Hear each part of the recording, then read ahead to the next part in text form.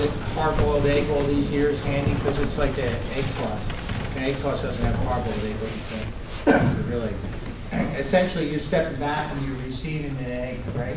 Egg is coming down, you step back and receive it? If you step back and you put your palm out, now you got a broken egg dripping off of your hand, right? So you have to absorb it. The same thing with this, you parry, you have to bring it in and absorb it, okay? Parry, bring it into a neutral place, okay? So um, if you continue with this, and I hope you will, just keep that in mind.